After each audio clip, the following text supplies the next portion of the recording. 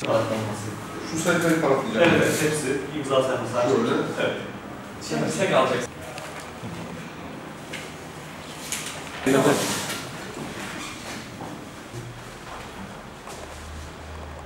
Doğu Karadeniz Kalkınma Ajansı da gerçekten kalkınma ajanslarının kuruluş felsefesine ve hedeflerine uygun çok güzel faaliyetler gerçekleştirdiğini ben e, uzun zamandır e, takip ediyorum ve görüyorum. Bundan da son derece memnunum. Bugün de bilişim gibi, e, kodlama dili gibi, eğitimi gibi eğitim alanında e, hepimizin e, önceliği olan, önceliğini alması gereken bir konuda Milli Eğitim Bakanlığımızın politikalarında uyumlu, e, faaliyetleri uyumlu ama yerelde de desteklenmesi gereken bir proje çerçevesinde e, hedefleriyle, sınırlarıyla e, motive edilmesi gereken bir alana çok güzel bir e, projeyle destek sağlıyorlar.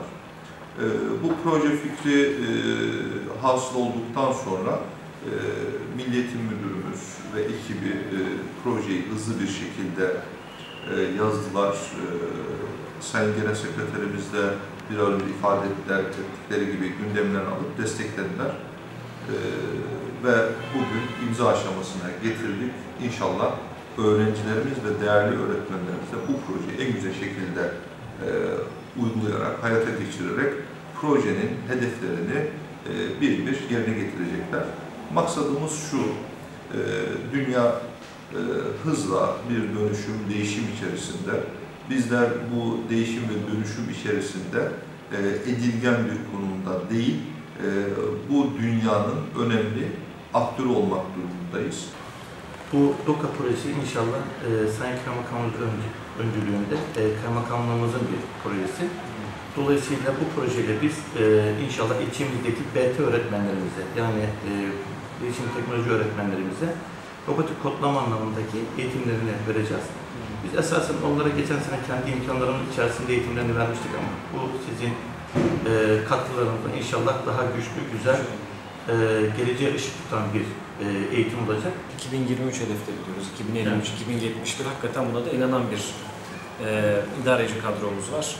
E, şimdi buraya e, mevcut ekonomik modelle gidemeyeceğimiz zaten en üst perdede işte gerek yeni ekonomik programıyla, e, gerek çeşitli dokümanlarla, strateji belgeleriyle ortaya konmuş vaziyette. Bundan sonra mutlaka daha fazla üretime, daha fazla eğitime, özellikle yeni nesil, gençlerin ve çocukların eğitimine daha fazla önem vermemiz gerektiği artık gün gibi aşikar. Şimdi biz de ajans olarak evet turizm bizim için bölgenin coğrafi özellikleri, doğası, kültür itibariyle öncelikli sektörümüz ama bir taraftan da e, hem sanayiye altyapı olabilecek, hem bilgi teknolojilerine altyapı olabilecek, e, insan kaynaklarını yetiştirmek, insanımızı bu yöne hasretmek önemli önceliklerimizden biri haline geldi.